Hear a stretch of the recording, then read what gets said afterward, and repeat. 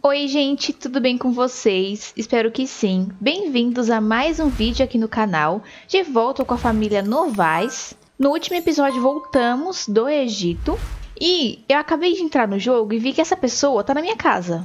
Pera aí, pessoa, que eu tô tentando te mostrar. É um adolescente, Ledo Tibodel. Não era o babá esse daqui? Eu acho que era o babá da Melinda, não era? O que esse menino tá fazendo na minha casa? Eu não sei. Ah, será que ele veio para ser babá dos animaizinhos? Eu acho que ele veio para ser babá dos animaizinhos, gente. Porque se eu não me engano, fica, não é? A Melinda, como vocês viram no final do último episódio, ela já chegou e já foi trabalhar, coitada. chegou de viagem e foi trabalhar. Gente, olha aqui uma curiosidade para quem não sabe. Os adolescentes, eles são menores que os adultos. Isso é muito legal. Isso é só no The Sims 3, tá, gente? No 2 também. No 4 não tem mais isso. Você não sabe quem é adolescente e quem não é, porque eles são todos do mesmo tamanho. Eu acho que é legal, sabe? Dá um pouco mais de realismo. Ai, The Sims 3, olha. E The Sims 2 também gosto bastante. Maravilhosos, né? Bem, no último episódio, eu disse para vocês que hoje iríamos mudar algumas coisas aqui na casa. Algumas dicas vocês deram nos comentários. Então vamos trocar e comprar mais algumas coisinhas aqui para casa, né? Ai, ó, eu desisto, gente. Com vaso fuleiro ou sem vaso fuleiro, o Ike sempre vai estar tá quebrando essa privada. E o chuveiro tá ali, esse banheiro voltou a ser um caos. Enfim, gente, uma coisa que tá me incomodando muito, que eu vi também tá incomodando vocês, vocês deram a sugestão pra gente melhorar um pouquinho aqui, são as luzes. Vocês falaram que as luzes estão muito estouradas. Eu dei uma melhorada, tá? Em algumas luzes, para não ficar estourada, exceto a da... Eita! Exceto a da lavanderia, porque aqui ainda tá estourada porque a bancada é branca. Deixa eu já trocar a cor aqui, porque branco deixa mais estourado, né? Eu já dei uma melhorada aqui no, na cor dos móveis. Ó, deu uma melhorada ali, tá vendo? O branco, ele estoura mais com a lâmpada. Reflete mais, no caso, né? Deixa assim, acho que combinou com o tapete. Dá uma mudada, né? Vamos tentar dar uma arrumada aqui. Vou tentar é, mexer aqui na, nas luzes para deixar o menos estourado possível. Aí o que acontece? Se eu deixo pouca, pouca lâmpada, tipo, deixar só uma aqui, deixa eu colocar só uma.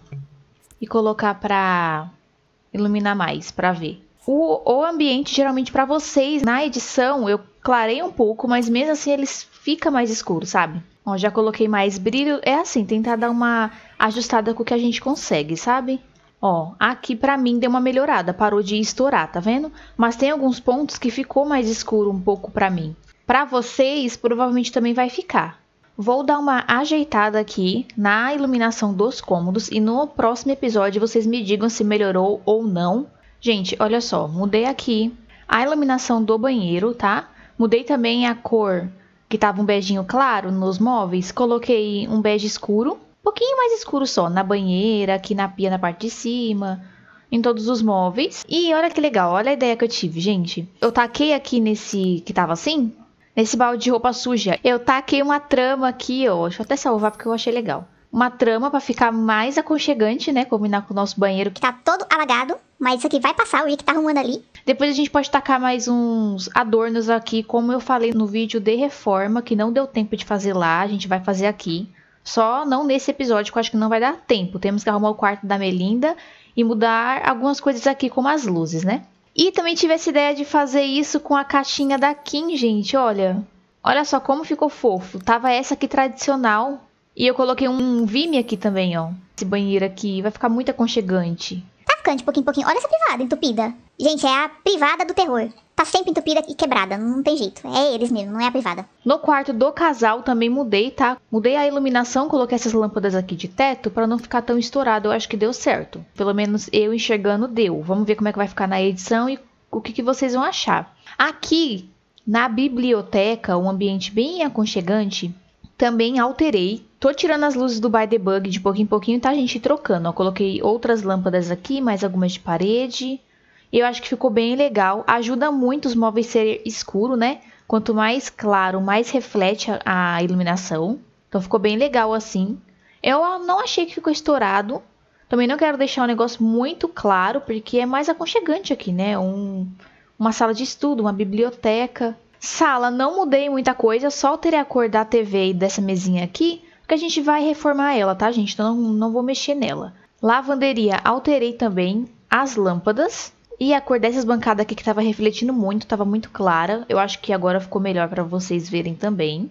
Ó, já perceberam que tem brinquedo de criança e brinquedo de cachorro por tudo que é canto, né? Você vê como eles são organizados. Pra não dizer o contrário, né? Aqui na cozinha, o canal Mila Sims disse que a luz da cozinha ficou muito estourada, que é para colocar o fogão e a geladeira preta. É, influencia muito por os móveis ser claro, né, como o fogão e a geladeira e as bancadas. Eu vou colocar aqui, como ela disse a sugestão, acho que vai ficar bem legal, o fogão e a geladeira preta. Olha só, gente. Coloquei o fogão e a geladeira preto. Assim de cima, não parece que a frente é preta, mas é assim, tá? tá batendo reflexo. Ixi, faltou o, o processador aqui. Troquei aqui a cor dos móveis e também escureci um pouquinho a bancada. Acho que assim ficou legal. Ainda não mexi na iluminação, tá, gente? Calma que eu vou mexer. Não vai ficar essa coisa escura também como tá aqui. Mas eu acho que ficou legal. Eu não troquei a cor da bancada, eu só mesmo escureci ela um pouquinho. Primeiro eu vou trocar essa parede aqui. O Arterson Otávio perguntou se eu sabia que dá para colocar meia parede aqui para dividir a copa da cozinha. Sim, eu sabia. Mas eu não lembrava disso. Não lembrava que tinha meia parede, porque ela fica mais escondidinha lá, né? Então o que, que eu vou fazer? Eu vou tirar esse arco aqui, eu vou fazer o que ele disse, que eu acho que vai ficar legal. Separar a cozinha da copa como uma meia parede aqui. Aqui, gente, ó. Tem as paredes normais aqui, aqui meia paredes. Eu nunca venho nesse meia paredes. Eu nunca lembro que tem, sabe? Eu acho que eu sempre uso com o vidro. E essa aqui, de meio, tipo, murinho normal, sabe? Coloquei meia parede só aqui. Aqui deixei uma entrada boa aqui, do tamanho do arco, ó. Acho que eu gostei assim. O que, que vocês acham? Eu vou trocar a iluminação da cozinha. Não, eu vendi o balcão. E anta. A iluminação da sala de jantar também, ou copa, né? Que dá na mesma. Colocar uns lustres bem legal. Gente, olha só como ficou. O que, que vocês acharam? Escureci, né? A geladeira e o fogão, que estavam branco. A pia também. E o processador também, para eles combinar, né? E essa faca bugada aqui dentro da parede, gente? Oxi. Olha, eu acho que melhorou. Mas me digam aqui o que vocês acham. Se ficou muito escuro ou se ainda tá estourado. Estourado eu acho que não, né? Não sei. A sala de jantar ficou assim. Coloquei uns lustres, tá? Aqui na cozinha.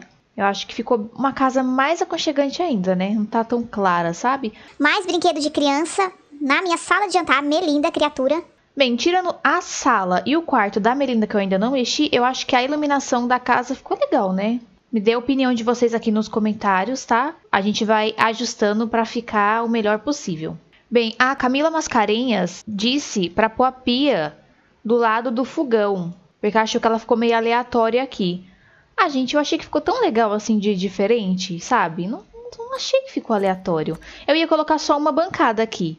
Mas o problema é que se eu colocar só uma bancada aqui, os Sims eles vão ficar pegando a comida daqui pra vir, vir cozinhar aqui, e aí vai pegar o processador lá e ficar indo, né? Zigue-zague, como uns barata tonta. Por enquanto, eu acho que eu vou deixar assim a pia aqui mesmo. Achei que ficou bem legal, ficou diferente, né, gente? Das cozinhas que a gente conhece. Tradicional, assim, que a pia é sempre do lado do fogão. As minhas cozinhas são sempre assim, tudo grudado, sabe? A gente tem que pôr ainda o bar. Eu não sei se eu vou pôr ele por aqui ou se vai ser lá fora. Mas a gente vê no mais pra frente, né? Mas eu achei que combinou muito aqui essa pia com essa flor aqui, sabe? Que, que vocês acham? Eu troco mesmo? Referente à decoração aqui do quarto da Melinda, eu tinha perguntado para vocês, depois que ela cresceu, qual o tema que a gente poderia estar tá fazendo aqui. O Ayrton Pereira Lima, ele disse que como ela tem o traço de atlética, para fazer com a temática esportiva. E a Emily Nunes disse para fazer o quarto de ursinho e mudar a cor do rosa para outra cor, já que ela trocou até a cor das roupas e tudo mais, não tá mais nessa pegada rosa. E, gente, deu empate, tá? Muitas pessoas gostaram das duas opiniões, então o que, que eu vou fazer? Eu vou fazer os dois. Eu vou fazer o quarto com temática esportiva e de urso, tá? Não vai ser só uma, porque ninguém gosta só de uma coisa também, né, gente? Vamos falar a verdade que todo mundo gosta de mais de uma coisa. Porque afinal, ela é muito fofinha, mas ela também gosta desse negócio de esporte, né? O que, que eu vou fazer? Eu comprei esse papel de parede aqui de cowboy. Vou entrar aqui para mudar a cor. Aqui em temático mesmo, eu sei que tem alguma coisa aqui de esporte. Só preciso achar, tem vários, ó. Nossa, mas isso aqui não é de esporte não, era. Tá moscando. Me enganei, gente, peraí. Gente, olha esse papel de parede de ratinho. Eu nunca percebi esse papel de parede aqui. Mas eu sou muito lesada mesmo, não é possível. É muito fofinho, gente. Ai, que amor. Olha, achei esse daqui de esportes. Eu vou mudar a cor. A Camila Mascarenhas, ela foi uma das pessoas que votou para fazer o quarto de ursinho. Só que ela falou para puxar por uma pegada roxa, sabe? Então, pra gente sair do rosa, a gente pode entrar no roxo. E aí a gente vai fazendo bem bolado aqui, gente, vai ficar bem legal. Vamos ver se fica legal. Olha isso aqui, gente. Nossa, dá muita diferença. Muito cara de Melinda, sério. Eu achei que tá a cara da Melinda. Tudo é fase. Uma hora gostam de uma coisa, outra hora gostam de outra. Olha só como ficou as paredes. Gente, ficou muito legal. Eu gostei, pelo menos. Gente, pense numa pessoa indecisa. Essa cama aqui, ela não muda essa parte de ursinho laranja, ela só muda aqui a cor. Sabe, ó?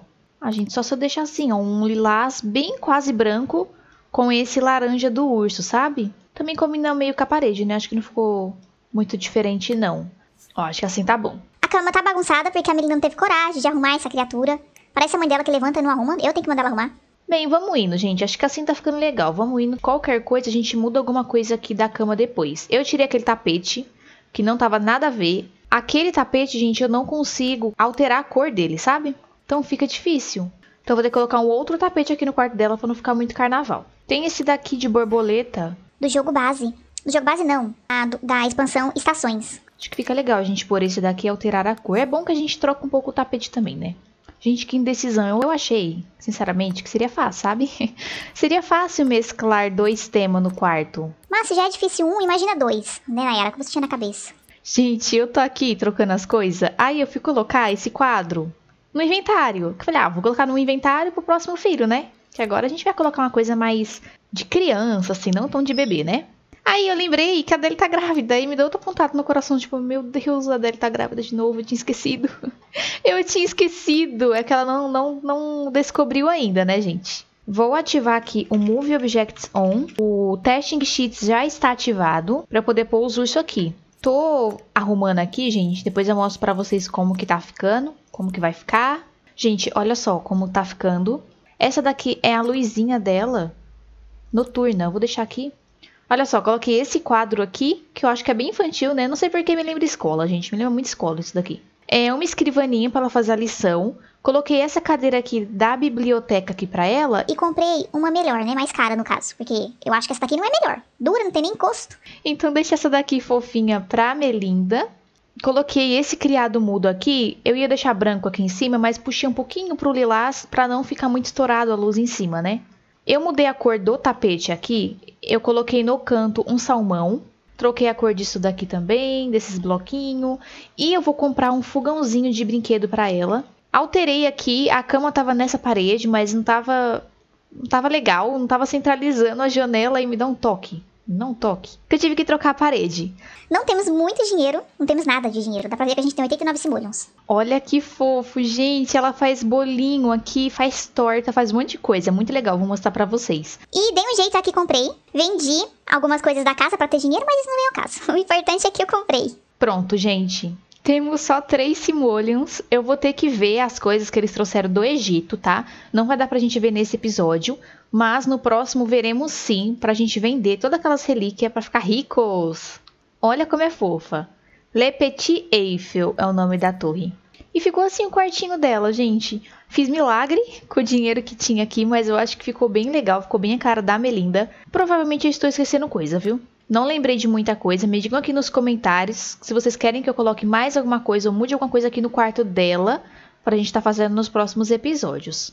Olha aqui, gente. Lembra a diferença de quando a gente olhava para o quarto da Melinda e era quartinho de bebê? Ai, agora é quartinho de criança. Nossa cria tá crescendo, gente. Muito obrigada a todo mundo que deu as sugestões aqui. Fico muito feliz de coração que vocês estejam participando e ajudando a melhorar aqui a série e o canal.